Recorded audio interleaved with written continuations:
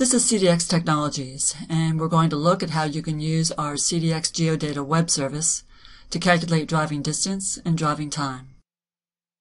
We can do this in the Microsoft Excel template shown here.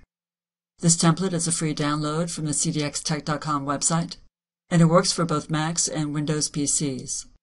Other than Excel, all you need is an internet connection. No other software is required. So we've copied into the template two lists of addresses, and we want to get driving data for each pair of addresses in these lists.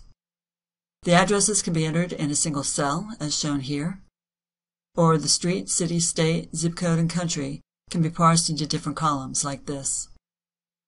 You can also see it has worldwide coverage. So now we're ready to select how the route is optimized. And for this case, we select time, so the quickest route will be calculated. We can also choose the route with the shortest distance and take into account traffic conditions and road closures. Here, we select to calculate the distance of the route in miles. Now all we need to do is click Calculate, and CDX Geodata uses data from Bing Maps to calculate the distance of the quickest route. For instance, driving distance for the route between the first pair of locations in Bayonne, New Jersey and Bluebell, Pennsylvania is about 89 miles.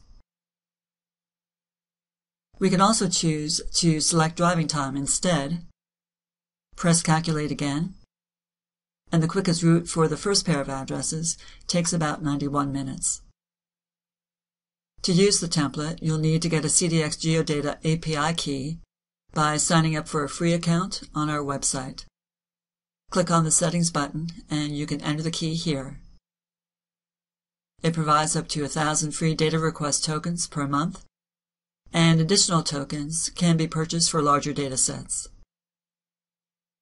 Since CDX Geodata uses Bing as the source of geocode data, you'll also need a Bing Maps key, which is stored in your online Geodata account.